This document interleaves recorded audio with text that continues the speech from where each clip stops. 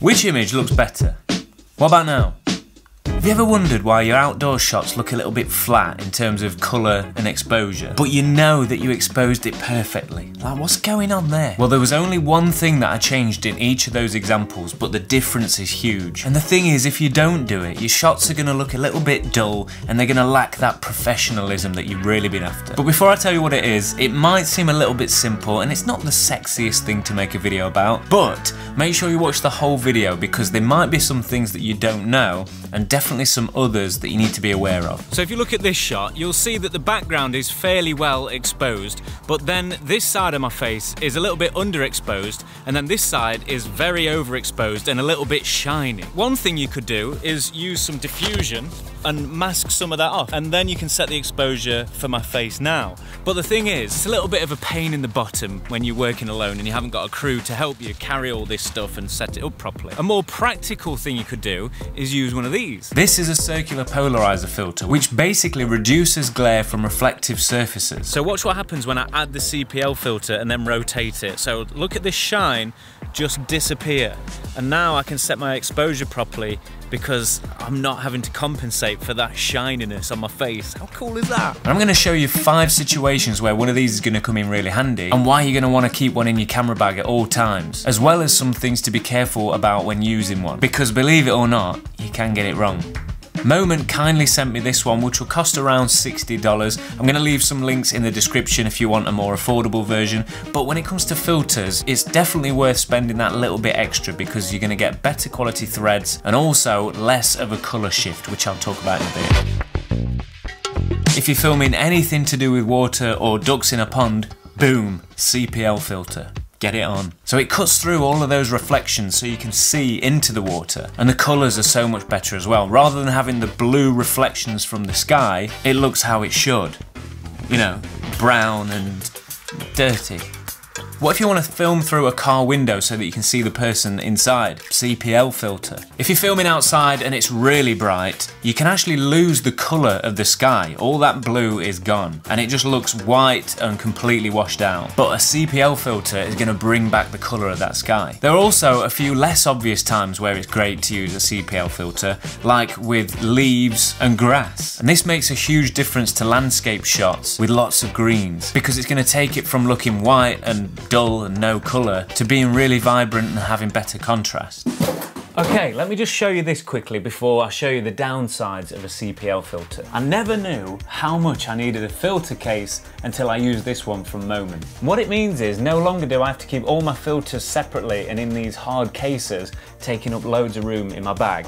I can just pop them all into this filter case along with the nice little cloth I've got in there. They're all in the separate pouches and it keeps them nice and safe and that just goes inside of my bag in a separate little compartment. So every time I know I'm going to be filming outdoors, they go with me. You can depending on the situation, get a slight colour shift, which means if you've set your white balance first and then you put the CPL filter on, it could look a little bit green or pink, especially if you're using a variable ND filter first, because we've got all sorts of polarization and stuff going on, I don't know, but my advice there is to set the white balance after you've put your filters on, and that's a kind of general rule anyway. If you have any questions about white balance, there'll be a link to a video here or in the description. I highly recommend checking that one out after watching this video. Most filters have another thread on the outside of the filter, so you can stack different filters on top of each other.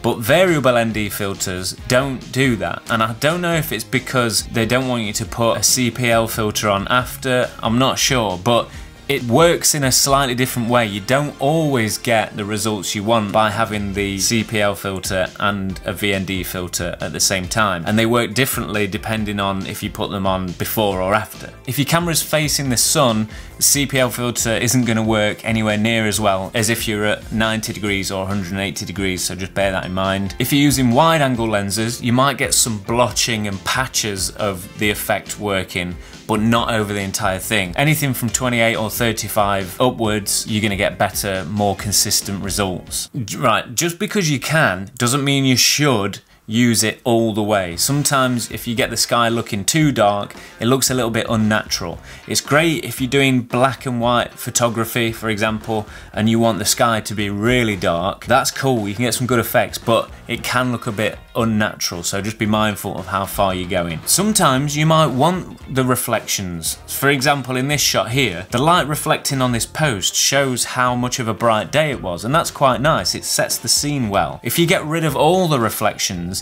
it can look a little bit unnatural. So again, don't go all the way if you don't need to. You can just get rid of the reflections a little bit, and then it's gonna give you a good blend of being natural and also not too much glare. It's not the type of filter where you can just set and forget because if you're going to be moving around at different angles that it's going to change the the reflections and everything's going to change the CPL filter actually cuts light so if you're using it in dark situations and you need extra light it's probably not a great idea to use it. Having said that if you're in dark situations you're probably not going to use it anyway because there's not going to be many reflections. But if you are using one outside just be mindful that you're going to have to set your exposure after you've dialed in your CPL filter. And then there's a style preference. Initially I thought I wanted the sky to be a little bit darker, so I put the CPL filter on.